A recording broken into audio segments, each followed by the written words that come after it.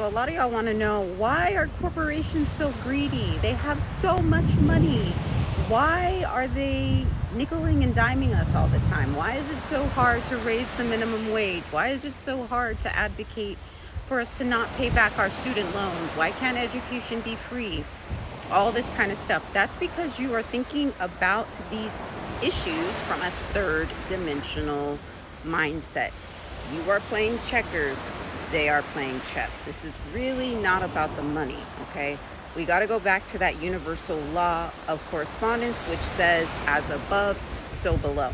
Okay, so if they're nickeling and diming you on the third dimensional plane and you know you're coming home with a really small paycheck you're coming home home really tired not ever having enough time to do anything else except you know the basic things before you have to go back to work the next week what do you think is happening on the spiritual realm? Okay.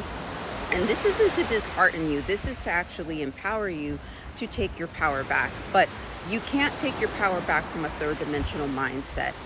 Holding picket signs is only going to get you so far in terms of getting your justice. It starts on the energetic plane. The first thing you want to do if you want to reclaim your power back from these exhausting deals that you made somewhere on the spirit realm to have your power siphoned, your energy siphoned, you have to first of all revoke soul contracts, revoke the vows that you made to be impoverished, to be enslaved on a mental and spiritual plane, okay? I'm not talking about the clink shackles, all right? I know that technically that doesn't exist, at least in the Western world, typically, unless we're talking about human trafficking, but that's another topic but um, at some point you did consent to giving your power away and so you need to be able to find out how when and where you gave your power away and when you consented to it forgive yourself forgive the other party involved and take and reclaim your power back. That's the first thing.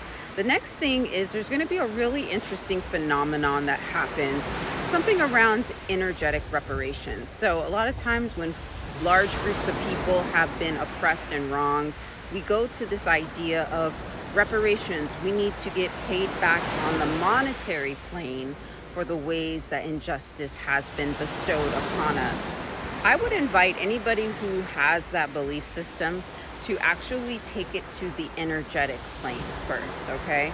And so, uh, really connect with your spiritual team and see how you can energetically start calling in those reparations so that you can balance the scales in the physical plane.